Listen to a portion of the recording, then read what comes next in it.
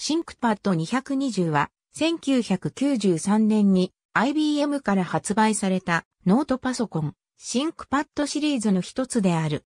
当時としては画期的な小型サイズでサブノートというジャンルの草分けとなった。 ThinkPad 220はノート型のパーソナルコンピュータの一つで CPU はインテル 386SL16MHz モノクロの 640X480 ドット液晶ディスプレイに 80MB のハードディスクドライブを標準装備していた。これは、この時代においても標準を下回るスペックであったが、A5 ファイルサイズ、重さ 1kg は当時の一般的なノートパソコンの半分に近かった。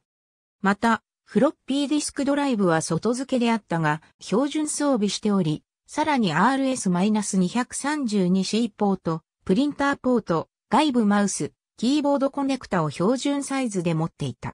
メモリは標準で 2MB、6MB まで増設可能だった。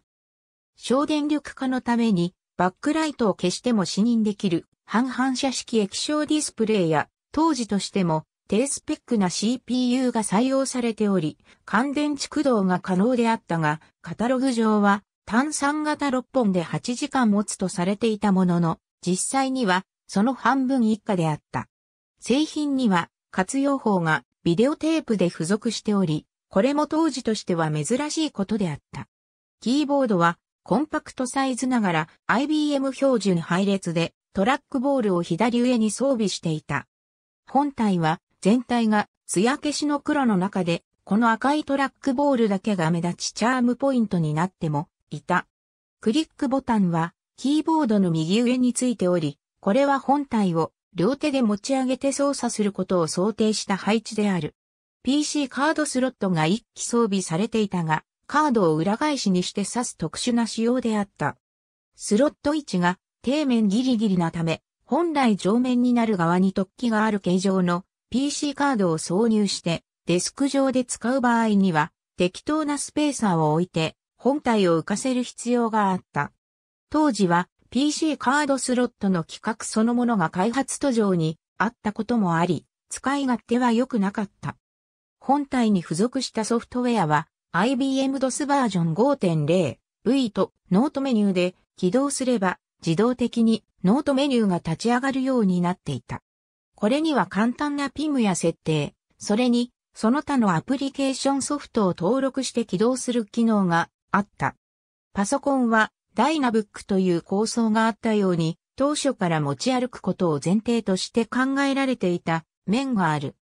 しかし、当時のラップトップやノートパソコンはとても持ち歩けるようなものではなく、その重量から時にはニークラッシャーなどと呼ばれていた。電子手帳など類似商品はあったものの、それらは皆独自の規格によるものであり、パソコンとは全く異なるものであった。日本 IBM では PS55 ノートで日本国内市場に参入した直後からこの製品につながる企画が始まった。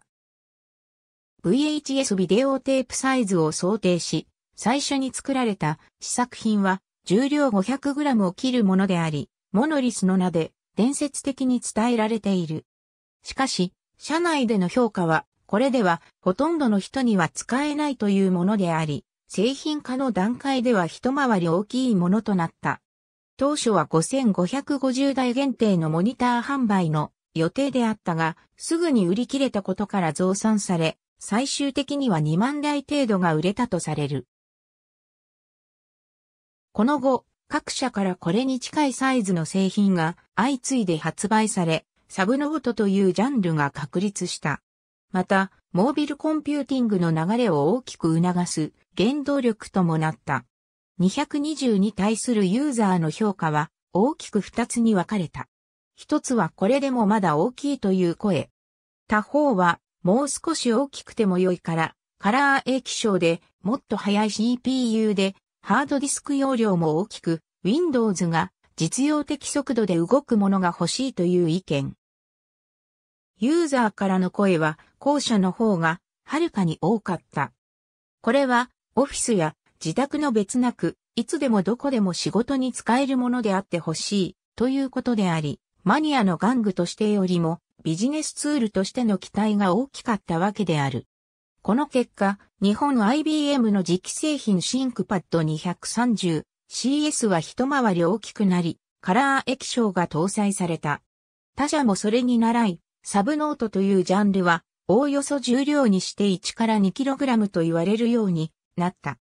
より小さなものを望むユーザーの一部は、HP100LX、HP200LX などへ向かったが、日本 IBM もこの方向を諦めたわけではなく、モノリスのコンセプトは後にパームトップ PC110 として結実する。ちなみに 230CS 発売時に日本 IBM からアンケートの結果からとりあえず大きい型から出す。小さい型を捨てたわけではないとのコメントが出されたという。また220はユーザーの勝手連的な活動が派手に見られた製品としても最初のものである。容量の小さいハードディスクをいかがに使うか、あるいは稼働時間の短い電池をどう使えば長持ちするか、どの電池が長持ちするか、CPU のクロックアップはどうすべきか、というような活用ノウハウがあちこちで追求され、情報の交流が行われた。その成果は書籍という形で結実した。ありがとうございます。